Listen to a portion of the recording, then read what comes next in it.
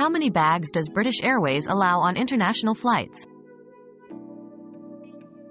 British Airways allows passengers on international flights to check in a certain number of bags free of charge, usually depending on the ticket class and destination.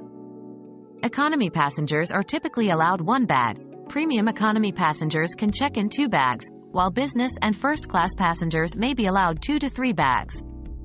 Each checked bag must not exceed 23 kilograms for economy and premium economy, or 32 kilograms for business and first class.